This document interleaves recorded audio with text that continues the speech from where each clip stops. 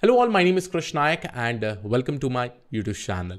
So guys, uh, in this specific video, I have found this amazing website which will actually help you understand about transformer completely in depth. Okay.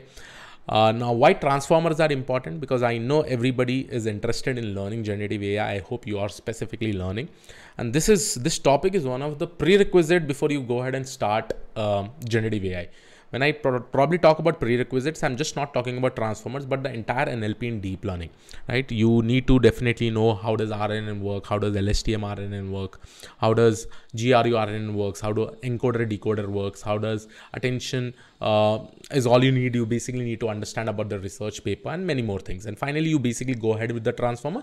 And most of the LLM model has the basic architecture with respect to the transformer, right? And if you probably go ahead and check my generative AI course with LangChain, here I have covered each and everything, the prerequisite with respect to uh, the deep learning NLP, the machine learning NLP, and then we have probably gone ahead and we have implemented multiple solutions. Not only that, I've also started uploading videos with respect to LangGraph and I'm still designing some amazing projects which can be added over here. So all those things are specifically doing that, right? And if you have not checked it out, please go ahead and check it out. And if you really want to learn machine learning from basics, then I have my this Udemy course, which is complete machine learning and NLP bootcamp, ML ops and deployment. Here, from NLP, from machine learning to advanced NLP techniques, both in deep learning, I have actually covered it.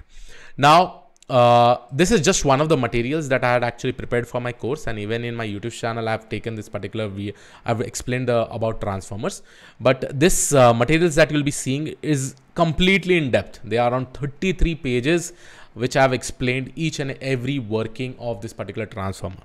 Now, additionally to this, you know, I've taken multiple examples also here, but additionally to this, I have also found out this amazing website which provides more thorough explanation with respect to visualization. That is the reason I'm actually sharing it to you because I know everybody and many people have specifically asked me this particular question, Krish, do you have something related to visualization with respect to the transformer or how does the transformer actually work, right? So that is the reason I'm actually coming up with this particular video.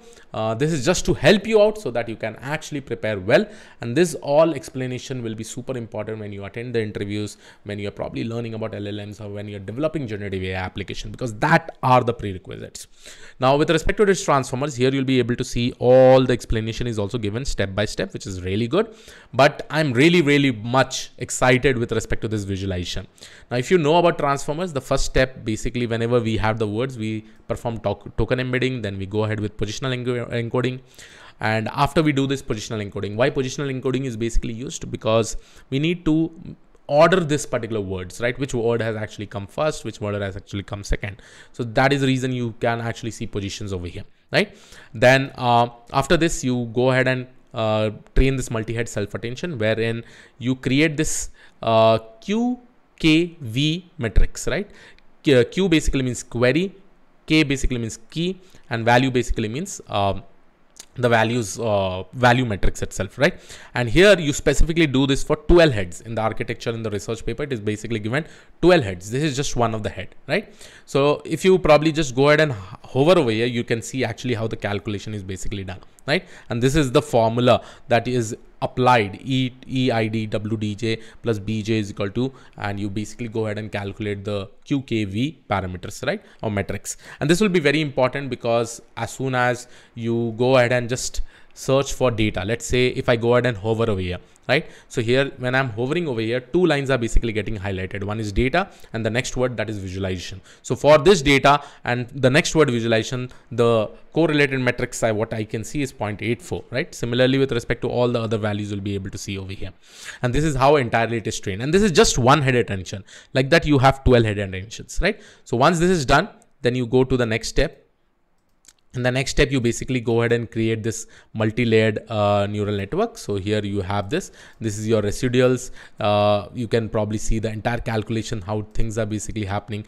Then you can see with respect to each and every token probabilities, how it is basically computed. And with respect to a word like data visualization empowers users to create. So here your create output is basically coming up, right? other than create you can also get visualized because the percentage of the softmax is very high right? So like this you will be definitely able to see each and every visualization how things are actually happening over here how the dot product is basically happening how things are basically getting calculated inside this. See after getting the dot product you do scaling masking and then you apply softmax plus dropout right? So many things are specifically happening. Step by step you will be able to see this.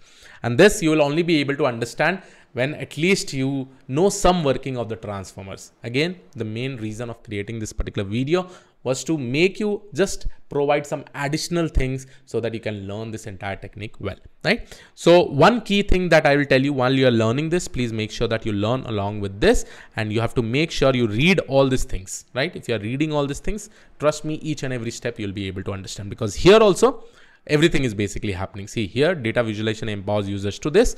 The first step is token embedding, positional encoding. You get some values, then you perform tokenization, positional encoding, and you get the final embedding. Then you have the transformer block where you create the multi-head attention, where you have this key cube, uh, uh, key query key and value matrices. And then you add with a bias, you finally get this right? So each token embedding vector is transformed into query, key, and values. These vectors are derived by multiplying input embedding matrix with the learned matrix from Q, K, and V, right? And it's just like a web search, like how in YouTube we search something and it will just go ahead and take that query, search from all the keys and retrieve you the values, right? So all these things are there. Then you have this mass self-attention, how things are basically happening step by step. You just go ahead and read step by step and let me know whether you are able to understand or not. Yes, other than that, uh, you know that I have a lot of courses in Udemy, which are very affordable, just in 399 rupees. You can go ahead and check it out in the description. Uh, the best order of learning my course will be from mathematics. Then you have this um, machine learning NLP, then you have this generative AI, then you have this data analyst bootcamp. So you can go ahead and read with respect to this. So yes, this was it from my side. I will see you in the next video. Thank you.